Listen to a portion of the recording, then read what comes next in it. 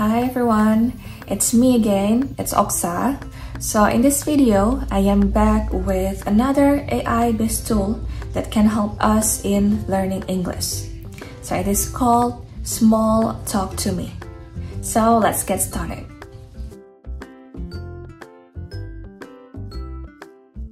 Alright everyone, so this is how the tool looks like. So this is Small Talk to Me, the AI-based tools that can help us in learning English, whether it is speaking or writing. And especially for those who are still preparing for IELTS, it will help a lot. So this is the home page, but before that, they will ask you to sign up. So you can use your email for that and you will have your profile here. So as you can see here, they have some features. This is the home features. It provides you a lot of things that they have. And also this IELTS feature. So this is for practicing your IELTS speaking and also your IELTS writing. Okay, just like this. They have some topics. It's the same for the speaking one so you have some um, topics here for practicing.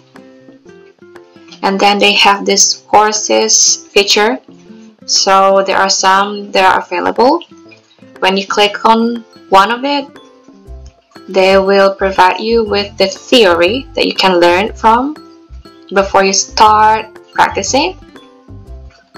And also they will provide you with these videos and this questions and after that they also have this one tips and trick that you saw before.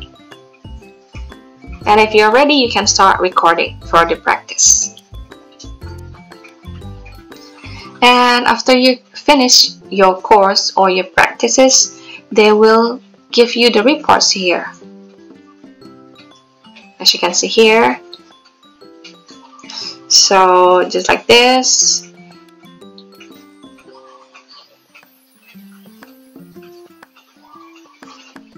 this is uh, what you have done. So what you are good at so what you have to improve before. And later I mean. Okay. And this is it.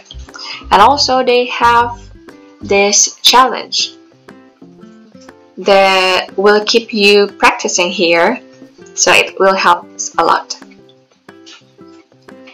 just like this the example. They have the materials and they have these instructions. And again tips and trick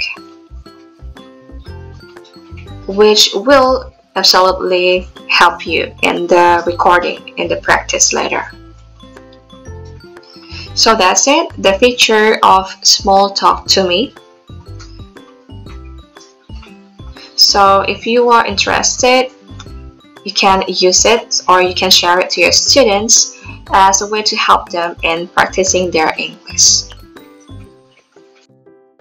Alright, so you have seen how small talk to me looks like. So you already know the features that they have that can help you in learning English later. But please remember, if you want to use this or you want to share this to your students, it will require them to speak in a long sentences. They will ask you to answer one question to another one from the shortest one to a longer one.